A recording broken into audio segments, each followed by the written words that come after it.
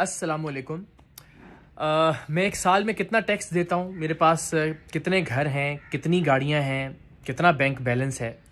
ये मैंने तय कर रखा था और तय कर रखा है कि ये तमाम चीज़ें मैं आ, किसी मुनासिब वक्त पे ज़रूर शेयर करूँगा। जब टीम सरेआम की बुनियाद रखी उस वक्त मैंने ये ऐलान किया था और उसकी वजह ये थी कि किसी के जहन में ये ना आए कि खुदा न खास्ता कोई सियासी पार्टी बनने जा रही है या जहन में कुछ और इरादे हैं कि कोई इलेक्शन लड़ना है या कुछ और या ये कि इससे किसी तरह के कोई पैसे बनाए जा रहे हैं। तो आ, मैं सोचता था कि मैं बता दूँ कि भाई ये मेरे पास इस वक्त मौजूद है और आज से दस साल बाद बीस साल बाद भी अगर उसे काउंटर चेक किया जाए तो लोगों को पता हो कि कम से कम इस कॉज से मैंने ज़िंदगी में कुछ अर्न नहीं किया।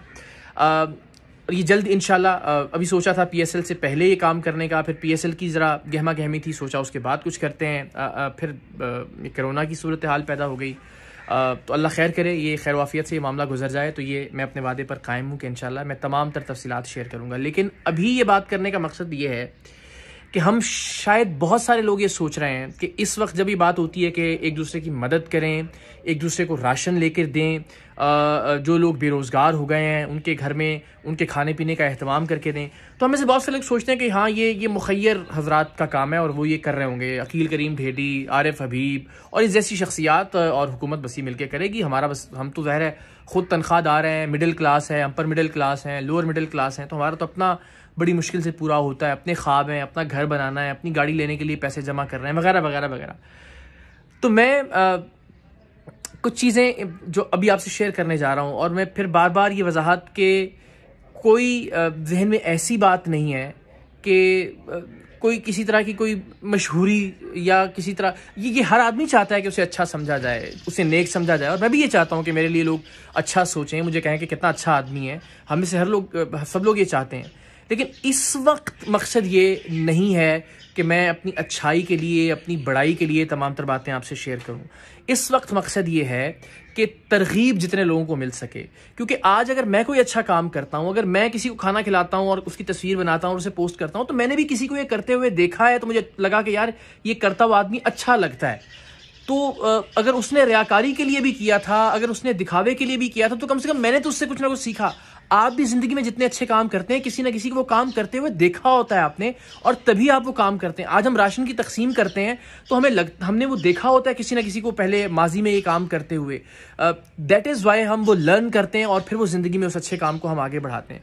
तो इसीलिए मुझे लगता है कि आप भले ये समझें कि कोई रियाकारी के लिए, मैं रियाकारी के लिए कर रहा हूँ, मैं दिखावे के लिए कर रहा हूँ, मैं रेटिंग के लिए ये कर रहा हूँ, मैं लाइक्स के लिए ये कर रहा हूँ लेकिन इस चीज़ को बढ़ाते रहना है। आने वाली नस्ल देखकर ही सीखेगी कि ये काम करने के काम होते हैं और ये काम किए जाने चाहिए। तो मैं जो ये चीज़ आपसे शेयर करने जा रहा हूँ ये अल्लाह ताला की ज़ात जानती है इस नीयत के साथ कि लोग देखें, इसे अच्छा समझें और फिर अपनी ज़िंदगी में भी उसे शामिल करने की कोशिश करें। आपको लगता होगा कि हमने भी फ्री खाने की जो बात की थी कि जी मैं ज़ाती तौर पर करूँगा राशन की तकसीम की बात की थी तो पता नहीं हमारे पास कितने पैसे होंगे। अल्लाह ताला की ज़ात जानती है कि एक तनख्वाहदार आदमी हूँ वह अच्छी तनख्वाह है लेकिन उसमें जितनी तनख्वाह होती है उतने ही आप अपने काम बढ़ा लेते हैं उतने आप अपने खर्च बढ़ा लेते हैं उतने आपके ख्वाब बड़े होते हैं उतना ही बड़ा घर चाहिए होता है आपको उतनी अच्छी गाड़ी आप रखना चाहते हैं। सो बड़ी कम बचत कर पाते हैं आप अपनी तनख्वाह में से। एक बिज़नेस शुरू किया और वो भी अगेन अल्लाह जा, जानता है कि उसमें कोशिश ये कि क्वालिटी को ठीक रखा जाए उसमें इन्वेस्ट किया जाए उसे और बढ़ाया जाए। सो उसमें से भी जो कुछ बचा था वो हमने एडवांस सैलरीज देकर एडवांस में पैसे देकर जितने भी हमारे लोग थे, उनको छुट्टी दी कि आप जाएँ, अपना वक्त अपने घर वालों के साथ गुजारें। और इस महीने की तनख्वाह में से जो पैसे बचे थे, उसमें से हम कोशिश कर रहे हैं कि जितना ये राशन और जितना कुछ तकसीम किया जा जा सकता है उसे तकसीम किया जाए। तो कोई मिलीनियर या बिलीनियर नहीं होना ज़रूरी आपका किसी अच्छे काम करने के लिए। ये ये शेयर करने का आपसे मकसद ये है। और मैं कसम उठाकर आपको ये बता सकता हूँ और अल्लाह ताला की ज़ात को गवाह बनाकर आपको ये बात बता रहा हूँ कि मेरे पास इस महीने की तनख्वाह में से किए गए खर्चों में से कुछ पैसे बचे हुए उसके अलावा कुछ और नहीं है। और अगर था तो ज़ाहिर आप कहीं ना कहीं कुछ ना कुछ ख़रीद कर रख चुके होते हैं अपनी ज़ात। तो उसमें से अगर मैं सोचूं कि यार, पता नहीं अगले पंद्रह पंद्रह दिन क्या होगा, अगला एक महीना क्या होगा, मेरे घर वाले कहाँ से खाएँगे? तो मैंने यस अपने घर वालों के लिए इब्तदाई दस, पंद्रह, बीस दिन के राशन का इंतज़ाम किया पहले। और अब मैं कोशिश कर रहा हूँ कि पहले इब्तदाई तौर पर सौ लोगों के लिए, फिर दो सौ लोगों के लिए जितने पैसे बचते रहें बचे हुए हैं, उनमें से जितने हम राशन बना कर दे सकें वो दें। तो आपसे मैं ये रिक्वेस्ट करना चाहता हूँ कि आप भी मुखैर हैं अपनी अपनी ज़ात में। अगर आप तनख्वाहदार भी हैं, अगर आप मिडिल क्लास के से ताल्लुक़ रखते हैं लोअर मिडिल क्लास से भी अपर मिडिल क्लास से भी तो इस वक्त अल्लाह ताला ने आपको जो कुछ दिया है, उसे बचा कर मत रखिए। अल्लाह ताला की ज़ात बड़ी बेनियाज है। आप आप ज़रा एक बार कोशिश तो कीजिए। मैं ये, और ये किसी लालच के लिए नहीं कि मैं अभी खर्च करूँगा तो मुझे इतने पैसे मिलेंगे। इसलिए कि लोगों को ज़रूरत है।